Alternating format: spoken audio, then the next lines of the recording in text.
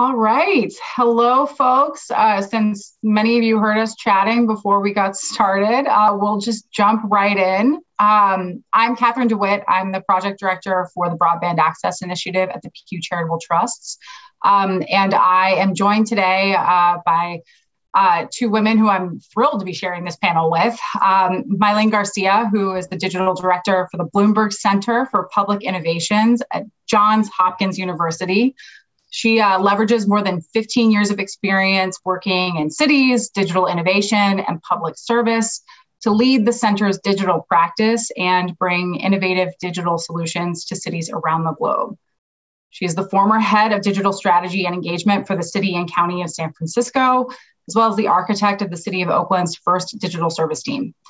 Her passion for creating innovative and efficient digital solutions that drive social impact has guided her work throughout her career. Dr. Karen Mossberger is the Frank and June Sackton Professor in the School of Public Affairs at Arizona State University and the Director of the Center on Technology, Data, and Society. Her recent Oxford University Press book with Caroline Tolbert and Scott LaCombe, Choosing the Future Technology and Opportunities in Communities, received the 2022 Goldsmith Book Prize for Best Academic Book from the Shorenstein Center at Harvard University. Congratulations, Karen.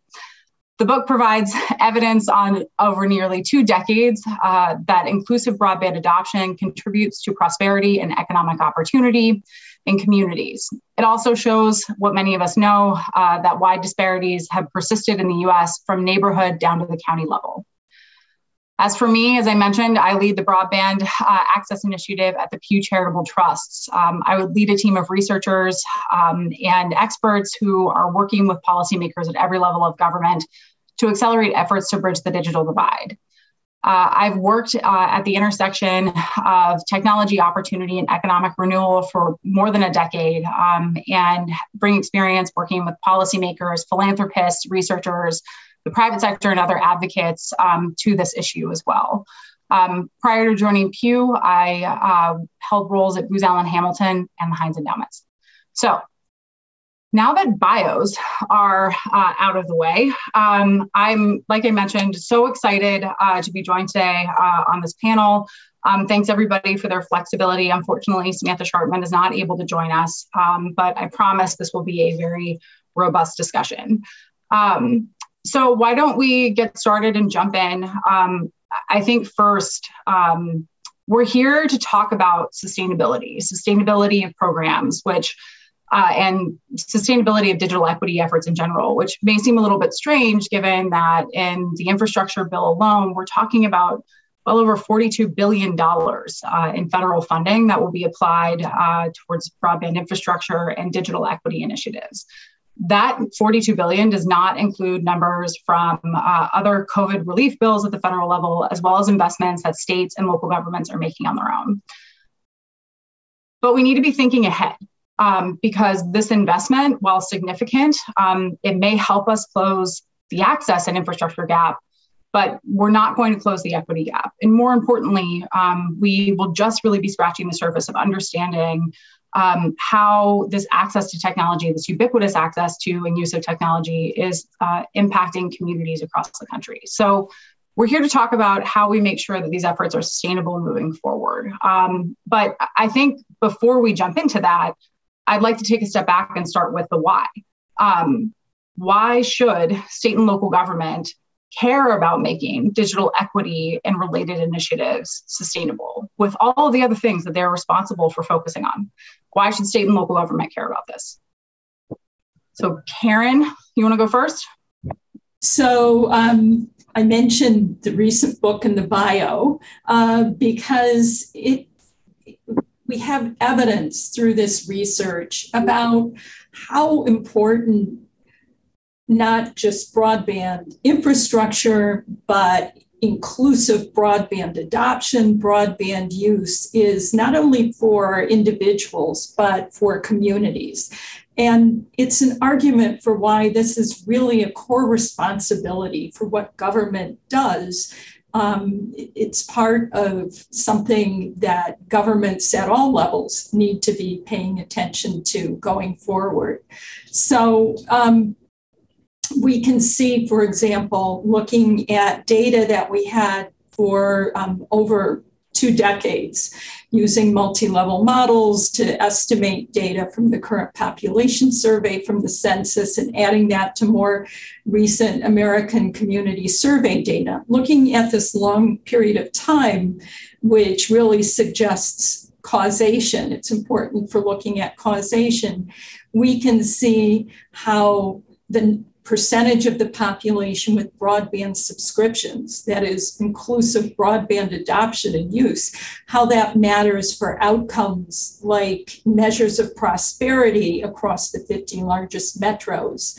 Um, for full employment in the 50 largest metros, and how that, you know, other things like the education, the percentage of millennials, um, you know, uh, tech firms, tech employment, you know, that magnified these effects, but broadband alone mattered. Just looking at broadband subscriptions alone, that was a significant predictor of things like full employment, um, fuller employment, and prosperity. We looked at the county level as well, using some different measures of prosperity from the Economic Policy Institute that included things like housing, uh, it included things like workforce participation, wages um, business establishments, so outcomes for businesses and also for individual residents. And um, again, broadband subscriptions or broadband adoption mattered for prosperity, for median income in counties. It mattered for urban, for suburban and rural counties. Um, uh, and comparing it to the measures of broadband providers, what we usually use to measure infrastructure or availability of broadband, adoption matters more because people are actually lighting up those networks and using them. So, all of this suggests that it's really important to things like economic development, um, promoting economic opportunity, workforce development for residents things that state and local governments do um, that are you know part of their core responsibilities. Um, what this really we argued what this really represents is a measure of digital human capital. Um, just like education is human capital and um, governments promote education for economic development and opportunity. Um, this is similar and it's something that we can't just let fade away as um, you know federal money is spent in the future. It, it has to be sustained. Okay. Um, Mai-Ling, would you like to jump in? Sure. Yeah. Thanks. Uh, thanks, Kathryn. I, you know, I, I think I think your question is really at, at, the heart of like many questions. Is why do we care about what state and local governments are doing? Why do we care about cities? And I, I think from my standpoint, it's really because cities are responsible for the most immediate, intimate parts of our lives. From streets to schools, cities are at the front line of government. And similarly, when people are accessing their services, which has really been the focus of my career, um, is, is how constituents access government services leveraging technology. Um, you know broadband internet having access to internet is obviously at the precipice of that. Um, and so a lot of the work uh, with myself and my colleagues at the bloomberg center for public innovation is really looking at the intersection of that academic work and cutting edge best practice in in several areas one of which um, is the practice that i lead which is the digital practice. Okay. So what i'm hearing from both of you um, and also this echoes what uh, the research that we've done with state lawmakers in particular has found is that we're talking about sort of the um, what that access really means um, and um, for service delivery in communities and then what comes of that access. So when i talk to lawmakers they immediately say we combat brain drain and really it it moves in then to revenue generation. But karen taking a step back from that you know you're really talking about um, fuller employment job opportunity educational opportunity. And then we pivot into the actual service delivery side of government and um, you know how do we really ensure that citizens are getting and accessing those services that their tax dollars are paying for? Okay so, I think that um, especially during the pandemic. So, digital government has been around for a long time, but one of the barriers for that has been that not everyone's online. So, we really haven't been able to realize the full potential of having information and services and civic engagement online through digital government. But I think we saw during the pandemic, um, you know, city council meetings went online, governments had to put more services online. Um, we saw growth in telemedicine, it's more prominent than before. So, you know, um, in, in, terms of what Mai-Ling just said, um, you know, schools, even now that schools are open, there's a real role for, um, you know, connecting homes and schools through um, digital platforms, um, for, you know, students to have internet access for research, for homework, for all kinds of uses. So this is really just a part of all of these things that government does and supports anyway. And it needs to be integrated into budgets for all of these services. It's just a part of what we do. And I think with the pandemic, that this digital shift got accelerated and we can really see i think in in a lot of places where maybe there hadn't been as much recognition of the potential of technology that we've really seen this with this acceleration of the digital shift. And and that's persisted you know it, things are not going to go back the way that they were before.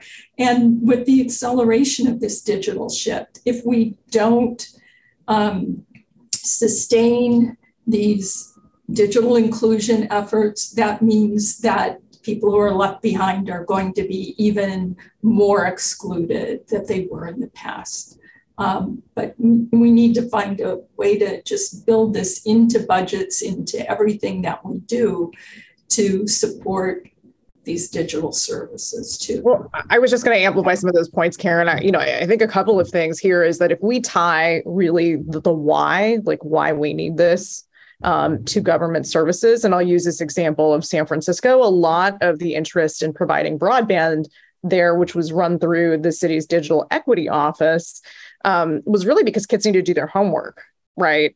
And you know, and I think that those are like government services that are being provided, and people needed those, and therefore it precipitated a very clear argument for being able to um, have broadband, Wi-Fi, and other sort of like instruments to expand reach um, within the city.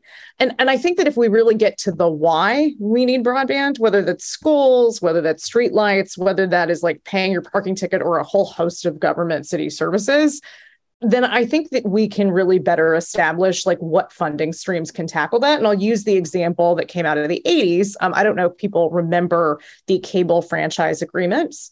Um, and those cable franchise agreements really, you know, were set up um, to establish public um, access television stations in cities around the globe, eh, eh, around the country, not the globe, but at least in the United States.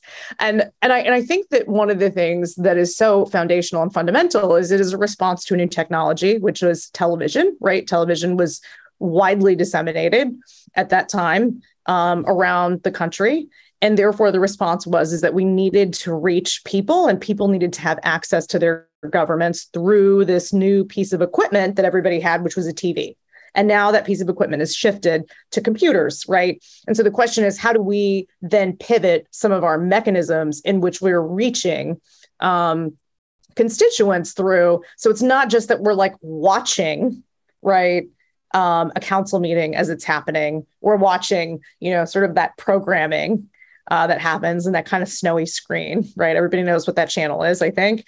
Um, but how are we actually pivoting to sort of like more modern ways of thinking through what that reach looks like as we've moved away from the television box to things that are more analogous with Wi Fi and our computer screens?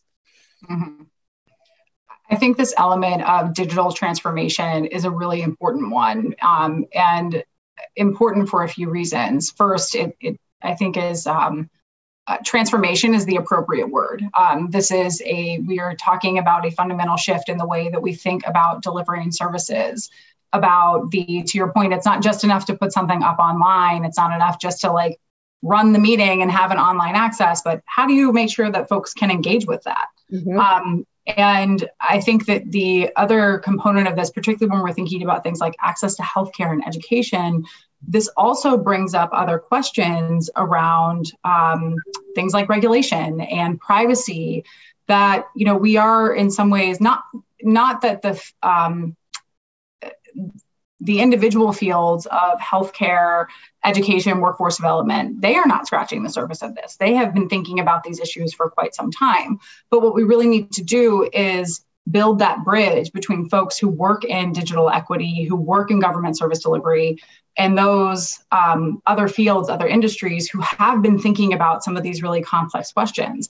How do we then bring these two perspectives together to think about that full, fully um, uh, sorry, there's a word here that I'm missing, but it's like that 360 degrees of engagement.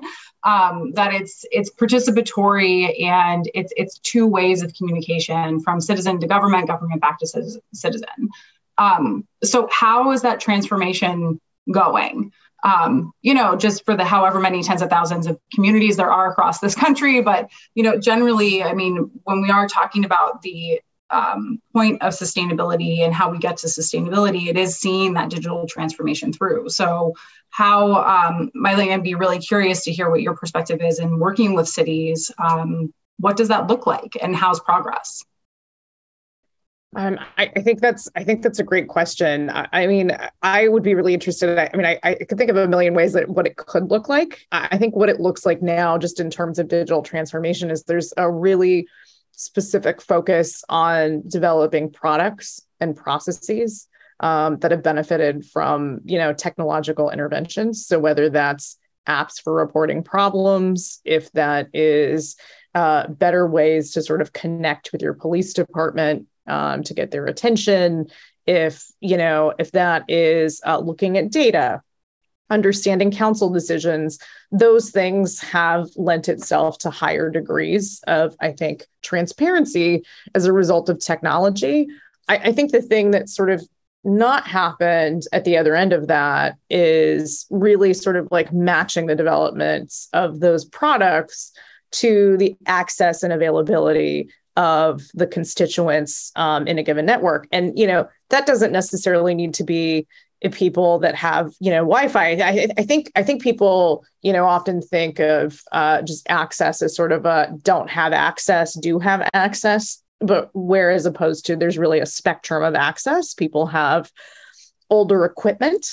People have you know good access to internet not so great access to internet. Everybody's has a, had a dropped zoom call right? Like so not everybody has you know the ability to get on these things and thereby the products that we're actually developing really need to meet the moments at which our constituents are actually arriving at the quote unquote like digital front doors.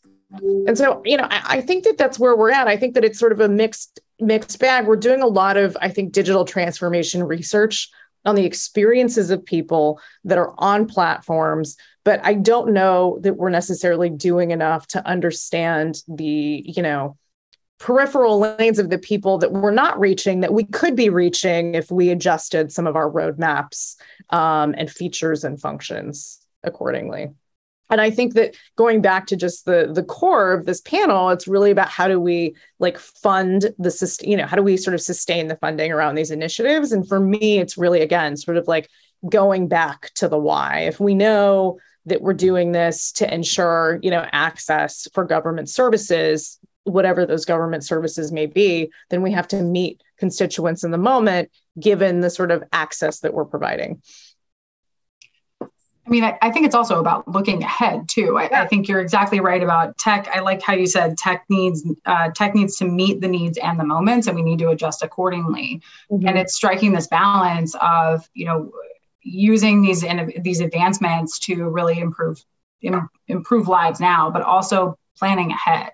Um, and that's where I, I, think sustainability in particular um, gets gets sticky. And I, I, I will let Karen jump in because you came off mute, so I assume you want to add something. So, well, I was just going to say those are all great examples, and so um, these innovations are you know, the goal behind these kinds of digital innovations is usually to deliver more effective services, to, um, you know, be more efficient, to save on costs, to the extent that, you know, some neighborhoods are left out, you know, on, on an app that collects data on, on um, problems on streets or that um, you're not going to realize that more effective service to the extent that you still need to have multiple channels to deliver services, not only digitally, but you still rely a lot on in person and phone. I mean, there's always going to be a role for that, but to the extent that for things like social service delivery, that's needed heavily for transactions that could be easily done with a few clicks and, and would be more convenient for users to the extent that you know we don't have inclusive broadband use. We can't really realize these benefits of efficiency or cost savings. So if you know if communities need to invest even through their own budgets um, if they need to go out to look for partnerships with industry with nonprofits to get foundation funding, but you know, even to invest their own money that they use for service delivery. In the long run, this can save money. In the long run, it may lead to more effective services for everyone in the community. So I think um, there's a tendency to think about digital inclusion as a cost. It's not just a cost, it's an investment in what we can do in the future, how we can innovate. I, I, was just going to amplify this point. This is actually something I, I, I feel like I, I might I might be getting on a little bit of a soapbox for a moment, but you know I, I I think that there's always this you know especially when you're talking about technology, right? Technology, a lot of the um, utility of it is measured with private sector metrics, Right. And that is really to acquire as many users as you can at the lowest cost. And I think, you know, Karen, the thing that I'm hearing you highlight is really the fact that actually, in actuality, the acquisition of the most difficult users is going to be quite expensive. Uh, but that doesn't necessarily mean that it's bad. And it's because governments are not businesses. And that's often said in a sort of like negative context. But it's because governments, especially local governments, their scope is much bigger. They're not just looking at sort of acquiring somebody for like, you know a short term attendance at a council meeting or you know a community event they're looking at the longevity the sort of like long term well being of the resident right? And so if that in fact is the measurement then really looking at these like short term metrics that i think a lot of times that we are pushing in yeah. the realm of technology is a little bit short sighted and i think loses some of the value of that investment that you're talking about. Like we I, I don't know that we've necessarily found a way to adequately communicate that yet. I would like to join you on this soapbox uh, but i do want to come back to this question on measurement uh, and uh, how it relates to sustainability, because I, I really want to dig into that point. I do think that you bring up an excellent point, and Karen and I are both like bobbleheading along with you as you're making it because um, the government is not business. And to connect the least connected, to ensure that those who are least likely to have affordable access to be able to use it, to your point, those are going to be the most expensive households and individuals to serve. That is why we need this investment that we are making right now through the BEAD program, through the capital projects funds. We need to make that capital investment in order to defray long term costs.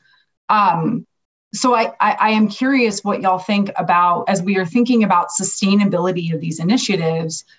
How do we sort of strike that balance in um, recognizing that we are going we need to make these significant investments in infrastructure that but there will be ongoing costs. So how do we think about those ongoing costs? Um, you know is this something where we uh, embed it as we've as we've all suggested and i think this is completely logical you embed it in the general operating budget of agencies because this is just how we do business now um, or is it something different? Do you retain a structure that many state and local governments have right now, where there's a separate office for digital equity and inclusion? Um, Is it a both? So I'm going to put this out to both of you. How are we really defining sustainability here? For maintenance of the initiatives that we are building to, not just the building of a network. So I, I would just say I think there's a role for these offices in terms of coordination and assistance and information, but I would hate to see all of the activities, um, you know, around digital inclusion just assigned to that one office. I think they need to be integrated into, you know, all of these different agencies. Um, um, you know, I one of the things that the um, federal legislation makes clear is that these investments are supposed to assist with jobs and economic development, with health, and with education. That's prioritized. I think that's how we need to think about this, not just something in a technology office or a digital, it's not just um, the chief information officer's job or a digital equity task force job. They're there to help with this, but it's something that's spread and integrated all across government for service delivery, for information, for small business development, for workforce development. And I think, you know, should be built into all of those budgets so that it doesn't look like it's some kind of standalone extra um, this is a part of you know the way we live today and how government is is coping with that adapting to that I, think I, I would just also add, like, I think my my inner bureaucrat is hearing my colleagues that are leading departments thinking, oh my God, where am I going to find a piece of my budget right. to give up to upgrade to you know to sort of address these things. I, I, I could probably see them saying yes i agree but secretly i'm very afraid like like what that will actually mean in terms of any service provision let mm-hmm. alone uh, those that are that are digital in nature. And, and I think you know one of the reasons why I mentioned the cable franchise fee at the, the very beginning, I think of of our chat is because you know uh, I think if I remember correctly, the way that it's set up is that you have about five percent of gross revenues levied in a particular year for a particular city to fund some of these efforts around public access television. So the mm-hmm. question that I have, you know, is not just where we can sort of like take away within cities, but where are these places where the city is actually giving giving resources, right? To people maybe outside of the public where the city is actually not benefiting from it, right? Whether that's public land, whether that's infrastructure, whether that is you know sort of administrative oversight of permits and roads and installation and where are there places in which they can recoup some of those costs um, in order to be reinvested um, for some of mm. these efforts and initiatives and so um, I don't know that I necessarily have the answers. I feel like that there are probably some amazing colleagues that I have in cities um, and local governments across the country that can say, "Oh, well, you know, we don't get money for fill in the blank," and I think that that's probably where a lot of our answers lie in in, in bridging that connection. Yeah, I agree, and um, really excited because you touched on a lot of very wonky details in there that I would like to unpack for just a mere moment. Um, I think your point on revenue generation is very important. How do you find a source of revenue so you are not taking from um, institutions that are already in many ways resource, resource and cash strapped? I apologize. I'm in the flight path of uh, the helicopters for the White House. So, uh, and that sounds much more fancy than it actually is. I live close to the river. Anyway, so they're very loud. So I apologize. Um, anyway, uh, so there's this point of how do we pay for this? And we've seen several states re, uh, repurpose their high cost, um, their universal service telephone uh, funds in order to pay for broadband deployment. Um, Colorado is one of those states. The problem is that those, um, those um, funds are funded by taxes on landlines, which fewer and fewer Americans are using these days. So we need to be thinking about other sources for how can we how can we generate um, consistent and predictable sources of revenue so that way programs can plan accordingly it doesn't become a burden it becomes part of your standard annual budgeting process i think the other point um, is really about the transition and how we view internet access. And where even when I started working specifically on internet, internet access about a decade ago, um, when the Recovery Act funds were being distributed, you know, there was still a lot of discussion about whether internet access was a luxury or a necessity. And um, that's that concept of is this a luxury or is it an essential good? Is it a necessity? I'm not even going to get into the utilities piece that has really framed policy and how we structure policy, how we fund this, the funding requirements we attach to policy. That perspective has shaped broadband funding until now. And the biggest, and I think, uh, I think one of the most important things uh, in the broadband budget, in the excuse me, in the infrastructure bill, um, that we we as those who are practitioners, observers, um, and partners to uh, the states and local governments implementing these funds the difference is that what you see in the funding requirements outlined in the legislation, as well as what NTIA has outlined in its notice of funding opportunity, are steps to ensure that, or is that the government is now viewing this as an essential service. Everybody needs to have this. This isn't this isn't a luxury, and we are talking about building floors, not ceilings, for these networks and for their capabilities. We are talking about ensuring that affordability is an inextricable part of these network builds. That is a huge, huge step forward and suggests that we are at this point now where we have made some sort of social pact agreeing that internet access is essential. And so the government needs to take a very forward leaning role in ensuring that everybody has access to it. Now it's on the rest of us to think about sustainability and ensuring all of the outcomes that Karen was talking about earlier um, and that, well, that both of you have been talking about. Sorry, I'm thinking about academic measurement. Uh, now it's on all of us to ensure that moving forward. So I will stop rambling. And do either of you have anything that you would like to add to that? Otherwise, I'm going to pivot to measurement.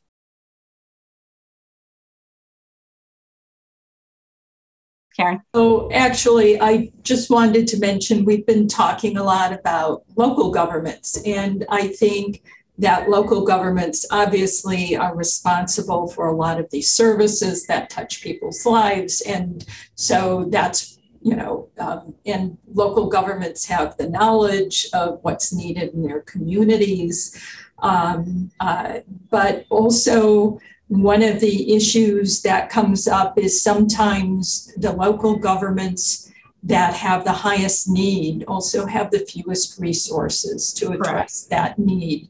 That's true in um, uh, in urban communities. It's true in small rural uh, local governments that you know may not have very big budgets or very many people working for them.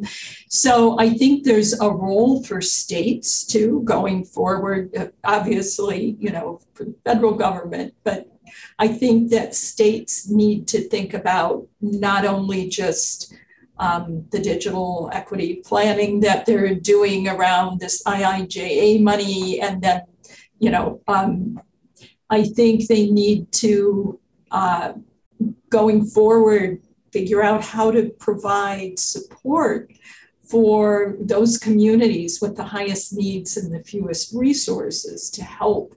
Um, uh, just the same way that you know many states support education and you know uh, local governments. To mm-hmm. um, it, again, it's digital human capital and, and it's necessary for functioning society. So I think there is a role for both states and local governments in this going forward too. You are not going to get any fights from me on the role of state government when it comes to broadband uh, and digital equity. And I think that your point about equipping local leaders is so important and one that we don't talk about enough uh, really right now in the context of IIJA implementation, but it was also something that we found in our research that folks like both of you have been saying forever, but we heard echoed in um, state broadband practitioners was even if they didn't have money for a broadband grant program, which many states didn't, even those who continued their efforts after uh, the Recovery Act ended, Um, but what they did do was focus on training their local leaders. Um, they repurposed capacity building and those local education initiatives on things like infrastructure, um, water, sewer in general. They repurposed that and adapted it into broadband training, into digital equity training. Um, and so they were able to help those local leaders apply for federal funds, um, secure private investments. And that um, education and training help the states move forward um, and prepare for federal funds when they did become available. Um, but we don't talk enough about those great examples of where the states are thinking about how do we support our communities um, in this moment? How do we make sure that they, those, particularly those that are least likely to access those resources um, and have those resources, how do we make sure they actually get them in place? Mai-Ling, anything on the local um, leader piece? I, you know, I, I think generally speaking, you know, I, I would say that probably a like a an not explicit, um, subtle sort of mission of mine. I think is to give local leaders the tools to talk about these issues. I think that there isn't enough of an understanding, both just from a policy perspective. Certainly, people work in technology policy, and that typically happens at the federal or national level, um, but really not at the local level. And it's, it, I think that there's an incongruence there because a lot of the execution and implementation is actually there.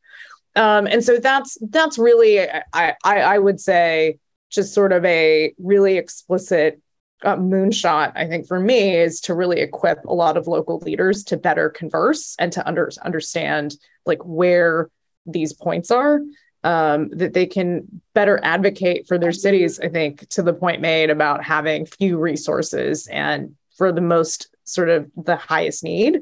Um, so how do we, you know, aid that disproportionate or balance that disproportionate investment is really going to be key through these local leaders who you know, to no fault of their own, I think have a have a really steep learning curve for something that is actually rapidly changing, right? Like it's not something that there is a college program out there uh, about. There is not sort of a you know a place for you as a you know local council member to like learn about decades of policy and then as soon as you learn it it's so rapidly changing because the technology is also changing around it so that policy process also doesn't necessarily keep up with the flow at which and the pace at which technology has been evolving.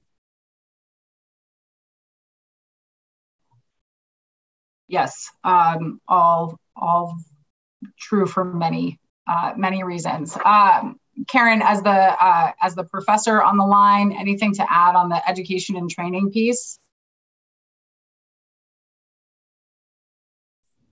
Um, so I I think that the more that we build in discussions about this in class, um, we need to do more in education and training around digital governance anyway. Um, but this is a part of that discussion and it should be part and parcel of that.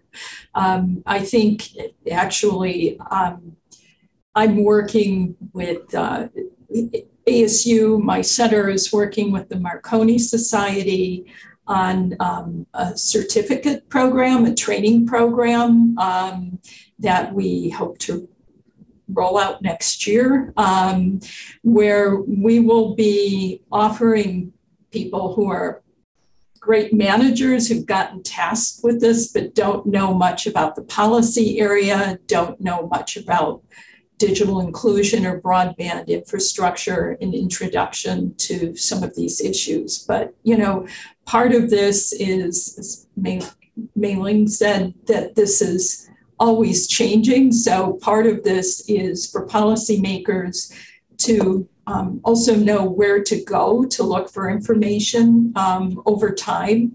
Um, what are some of the organizations? Just just um, the same way that state and local government officials always turn to professional associations to stay um, to stay uh, current with what's happening in their profession. I think um, I, I, think those state and professional associations have a role to play also.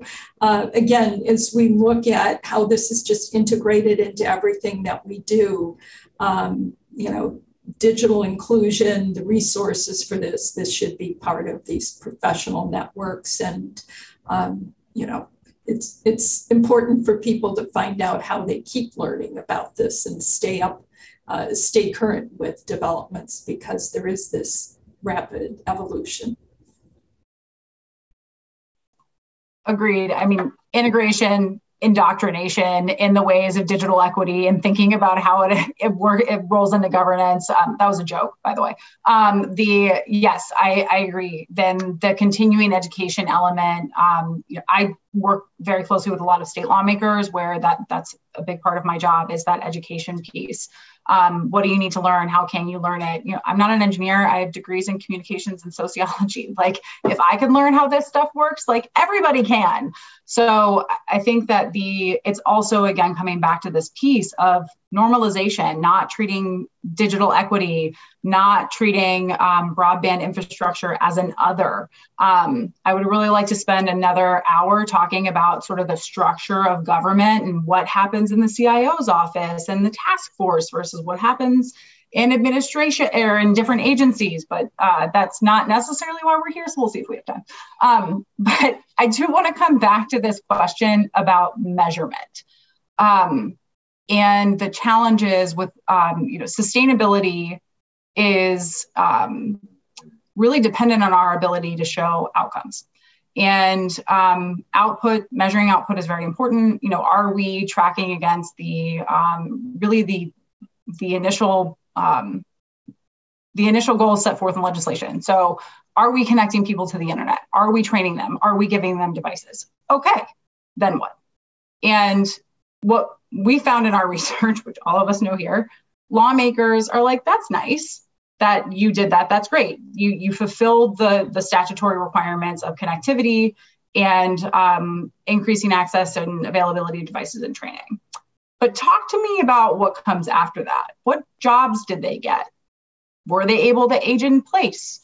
Um, this is hard to measure over time. Um, just to remind everybody, Karen's new book, two decades of research and, and data that they collected. So we know that data and demonstrating impact is going to be critical to sustainability of these programs moving forward, no matter where they live. So, how do we balance that with needing sort of a short term understanding of the impact of funds versus maybe the uh, reality that looking at things like community prosperity, that is a long term analysis. So, how do we navigate that tension?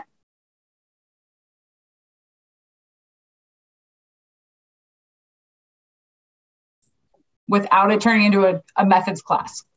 oh, I, I can do it without a methods okay, class. All right, so I think we need different kinds of um, feedback and evaluation. So certainly, you know, some of those outputs, you know, are people um, you know how many people got connected and so forth those are things that you can measure more through program data in the near term and, and that's important i think to policymakers it's important for accountability that you know that the program is is um, actively being implemented there's a role for looking at implementation, how effective the implementation seems to be, formative evaluations, and and whether their you know um, programs need to be tweaked.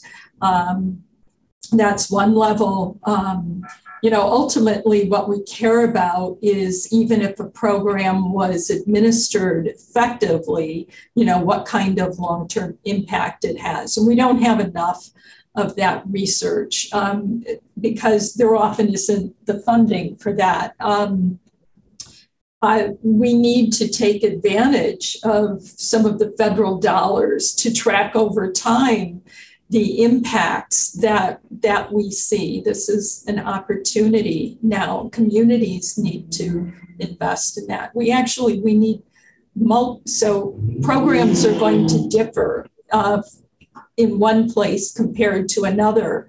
Um, there are going to be different approaches, different populations with different needs. Um, even if we, you know, e- even the smaller short term studies in terms of um, things that might be more qualitative, you know, um, talking to participants or whatever, that still has value.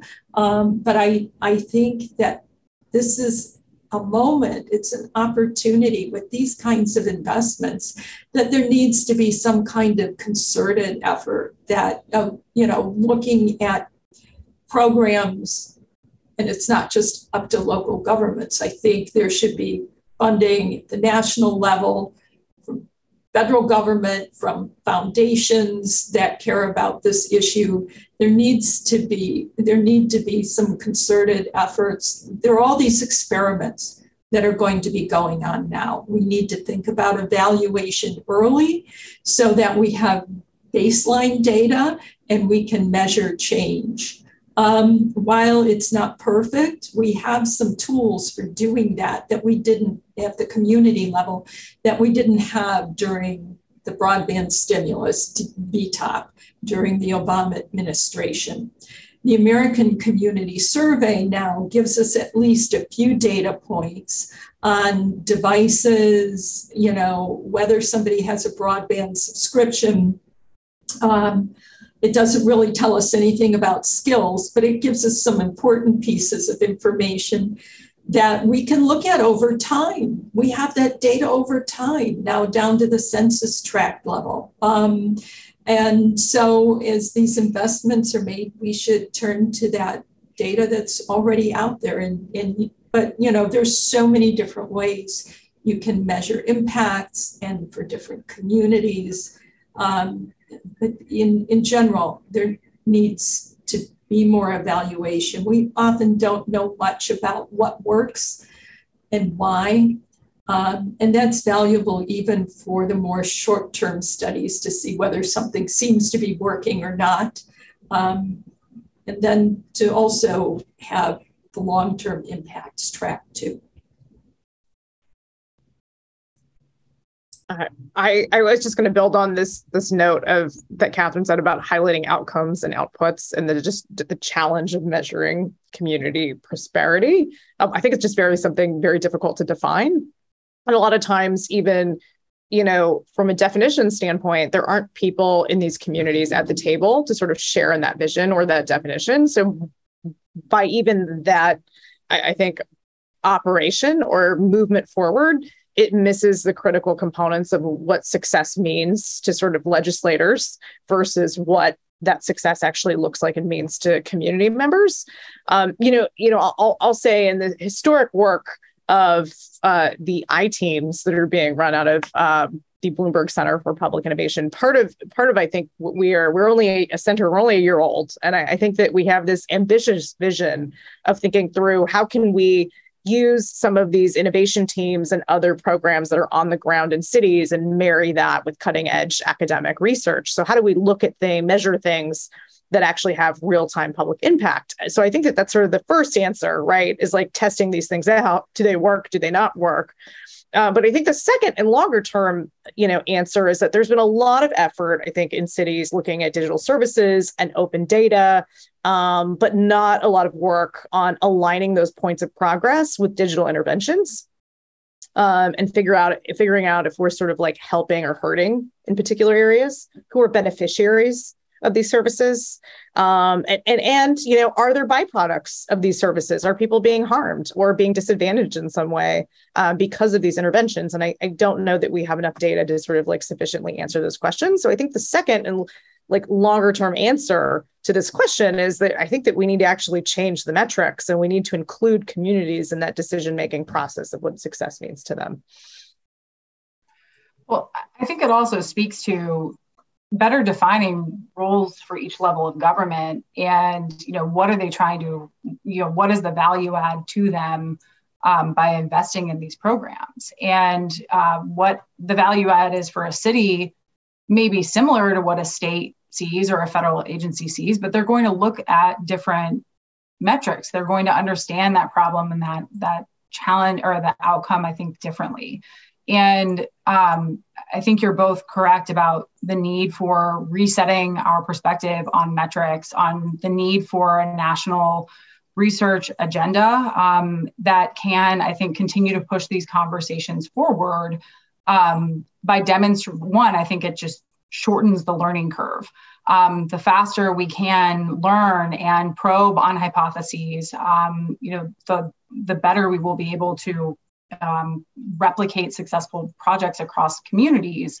But I also think too it'll normalize what both of you were just talking about, which is that like what is success for one community may not be the same success for their neighbor or for us, you know, a, a community just across the state line.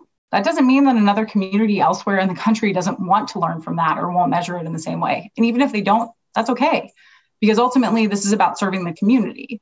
So it's okay. I think I think we often um, we look for that talking point. You know, the the big the big number that shows the impact of these programs. And the reality is that we may not be able to tell the story of the impact of these investments, the outcomes um, in the big national numbers and the big transformational numbers. But where we may be able to see it is at the county level, the city level, at the neighborhood level. And ultimately, that's why we're doing the work. Um, so sorry, not to put words in either of your mouths, but I, I think that the this idea about thinking differently about how we measure the impacts of these programs, how we think about short, medium, and long term evaluations, and who's responsible for doing it, um, is a conversation that I would love to continue, and I hope that the field um, continues it as well. Um, it's actually why we started an organization called Opportunity Broadband, and that wasn't a I, that wasn't a layup from Karen. Karen is uh, one of the professors who's graciously helping us as we think through some of these questions around evaluation. Um, but um, I think that it's a, a conversation that the field needs to have in order to achieve sustainability. So, in the last few minutes that we have, um, I think one, any closing points, but two, we have a diversity of practitioners on the line right now uh, from across the country, different roles, different organizations. Um, what's your call to action to them, to the people that are here? Um, what's your ask? What's your parting thought? Um, what's the need?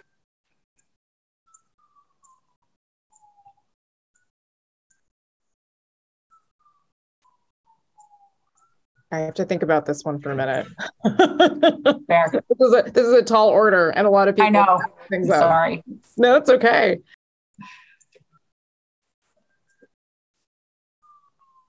You know, I, I think that my my ask of, of folks, you know, this is digital inclusion and equity is really at the heart of that.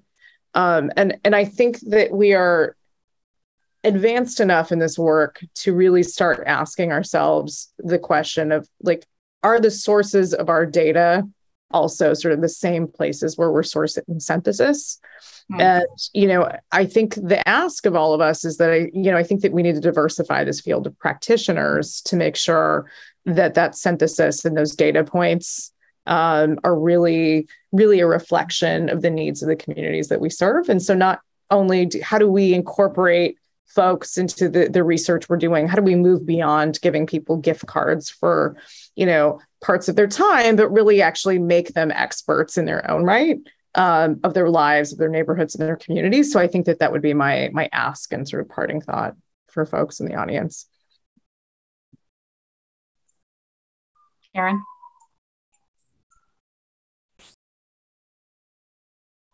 you you muted yourself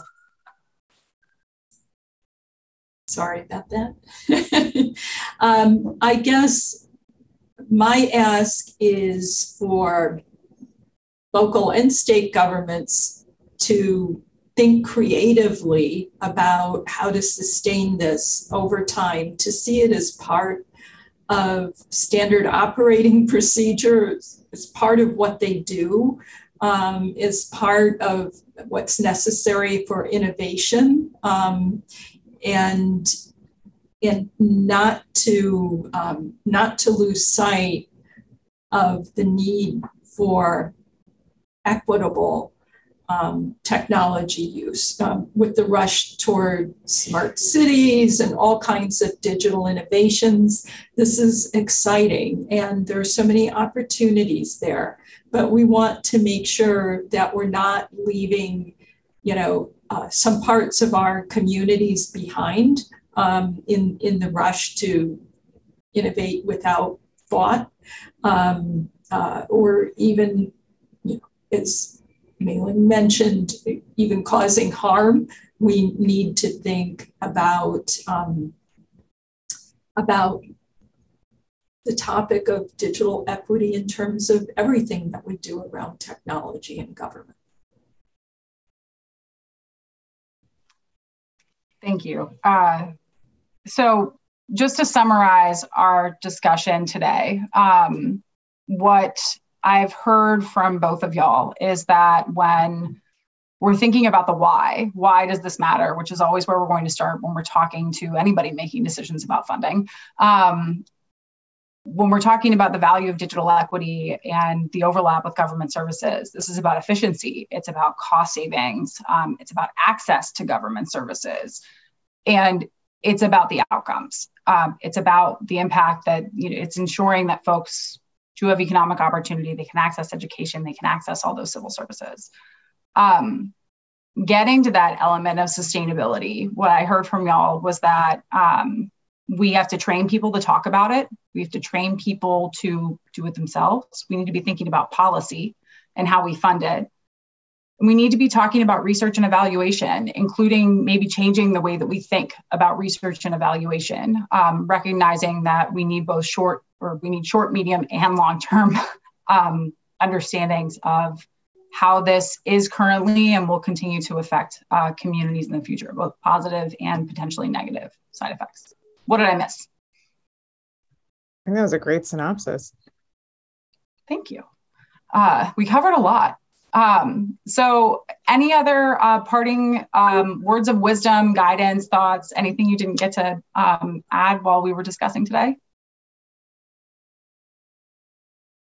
All right. Well, thank you both so much. Um, I would love to schedule a separate conversation so we can have a very wonky discussion about public administration and funding.